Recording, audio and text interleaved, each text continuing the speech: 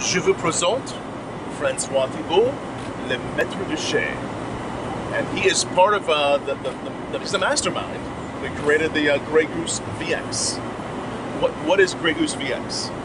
Uh, Grey Goose VX is, uh, c'est une histoire, c'est une qualité et c'est un design. L'histoire, parce que c'est la, la manière pour moi de remercier Cognac de m'avoir euh, nommé maître de chef et aussi la qualité parce que je voulais exprimer le spiritueux de Cognac jeune pour sublimer la qualité de Grey Et pour finir, l'esthétique de cette euh, jolie carafe qui vient, euh, euh, décorer le style de VX. So this is the uh, the very first time we're tasting it at Tales of the Cocktail. It is 5% cognac, 95% vodka, blended. They've distilled this. It's beautiful. It has a hint of the precious cognac. Impressive. Excellent.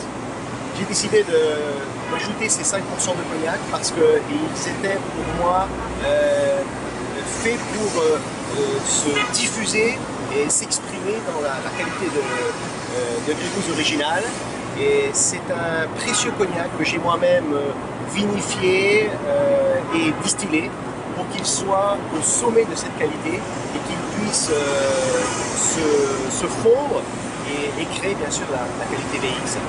So you, you really express the original uh, vodka. Uh, I mean, you have a lot of lovely expression of Grey Goose, but you also have this wonderful young cognac, and it's, it's just a very lovely, lovely bottle. And this is going to be coming out very soon, and we are the first to try it.